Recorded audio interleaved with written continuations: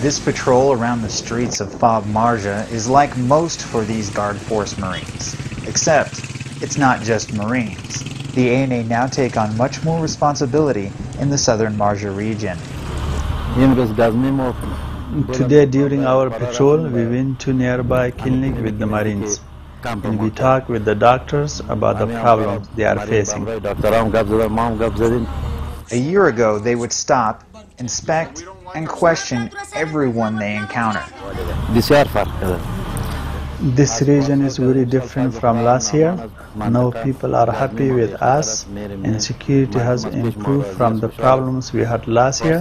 This year with God's help, Marjah is more secure. And now it's more secure through the work of Afghans and these 3-6 Marines out of Camp Lejeune. Something that came as a pleasant surprise for those who were here a year ago. I was surprised at how well they've learned in a year.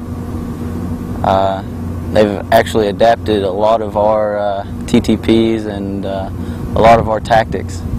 The Marines continue to train the ANA so that they can maintain this area's security for the long term.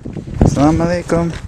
Marine Sergeant Andrew Milner, Forward Operating Base Marjah, Afghanistan.